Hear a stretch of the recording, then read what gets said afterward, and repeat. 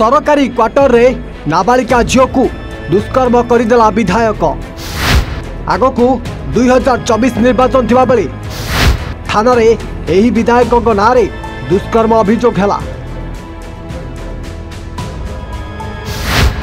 আথমে দলর বিধায়ক বাহার করা আর্বাচন পূর্ব সেই বিধায়ক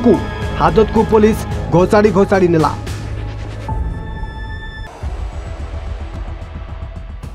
दर्शक बंधु टे भल देखु ये विधायक जनक जहाँ कानमा आज सारा राज्य नुहे बर सारा देश में खेलीगला दुई पाखे चलती पुलिस आने जहाँ हाथ में हाथकड़ी पकई ने से आउ के नुहति बर से ही विधायक तेरे ए दृश्य देखी आप निश्चय भावुवे ए पुलिस बाबू मैंने विधायक को एमती घोषाड़ी घोषाड़ी कहीं तेरे ବିଧାୟକଙ୍କ କାଣ୍ଡ ବିଷୟରେ ଯଦି ଆପଣ ମଧ୍ୟ ଶୁଣିବେ ତାହେଲେ ଆପଣଙ୍କ ଗୋଡ଼ର ରକ୍ତ ସତକୁ ସତ ମୁଣ୍ଡକୁ ଉଠିଯିବ ହଁ ଆଜ୍ଞା ଏହି ଭଦ୍ରଲୋକର ମୁଖା ପିନ୍ଧିଥିବା ବିଧାୟକ ଜଣକ ଦୀର୍ଘ ଦିନ ଧରି ଗୋଟିଏ ନାବାଳିକା ଝିଅକୁ ନିଜର ସରକାରୀ କ୍ୱାର୍ଟର ଭିତରେ ବାରମ୍ବାର ଦୁଷ୍କର୍ମ କରିଥିଲେ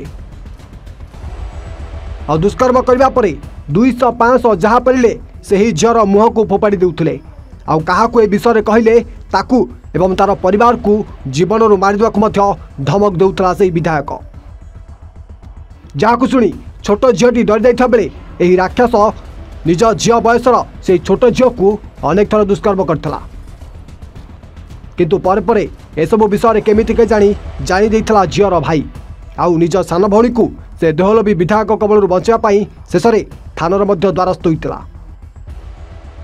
ଆଉ ବିଧାୟକ ରାମଦୁଲାର ଗୋଣ୍ଡାଙ୍କ ନାଁରେ ନିଜ ଭଉଣୀକୁ ଦୁଷ୍କର୍ମ କରୁଥିବା ନେଇ ଏକ ଲିଖିତ ଅଭିଯୋଗ ମଧ୍ୟ କରିଥିଲା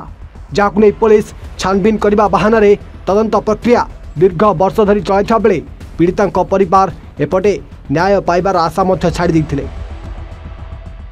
କିନ୍ତୁ ପୀଡ଼ିତାଙ୍କ ଭାଇ କେବେ ବି ହାର ମାନିନଥିଲେ ଆଉ ନିଜ ସାନ ଭଉଣୀକୁ ନ୍ୟାୟ ଦେବା ପାଇଁ ଦୀର୍ଘ ପଚିଶ ବର୍ଷ ଧରି ସେ ଏକାକୀ ଲଢ଼ିଥିଲେ ଆଉ ଆଜି ସେହି ପଚିଶ ବର୍ଷର ଲଢ଼େଇର ଅନ୍ତ ଘଟିଯାଇଛି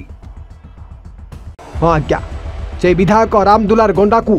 ହ୍ୟାଣ୍ଡକପ୍ ପକାଇ ଆଜି ଜେଲ୍ ନେଇଛି ପୋଲିସ ତେବେ କୋର୍ଟ ବିଧାୟକଙ୍କୁ ପଚିଶ ବର୍ଷ ଜେଲ୍ ଦଣ୍ଡ ଶୁଣାଇଥିବା ବେଳେ ପାଞ୍ଚ ଲକ୍ଷ ଟଙ୍କା ଜରିମାନା ଦେବାର ମଧ୍ୟ ରାୟ ଦେଇଛନ୍ତି ହେଲେ ଏଥିରେ ରାମଦୁଲାର ଆପତ୍ତି ବାଢ଼ିଥିବା ବେଳେ ତାଙ୍କ ପିଲାମାନେ ପାଠ ପଢ଼ୁଥିବାରୁ ତାଙ୍କ ସଜା କମ୍ କରିବା ପାଇଁ ସେ ଅନୁରୋଧ କରିଥିଲା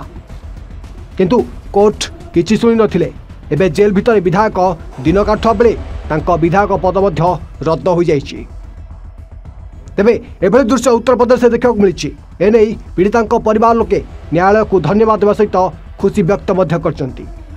ଆଉ ଏ ଭିଡ଼ିଓ ବର୍ତ୍ତମାନ ସୋସିଆଲ ମିଡ଼ିଆରେ ପୁରା ଭାଇରାଲ ହେବାରେ ଲାଗିଛି ରିପୋର୍ଟ ଓଡ଼ିଆ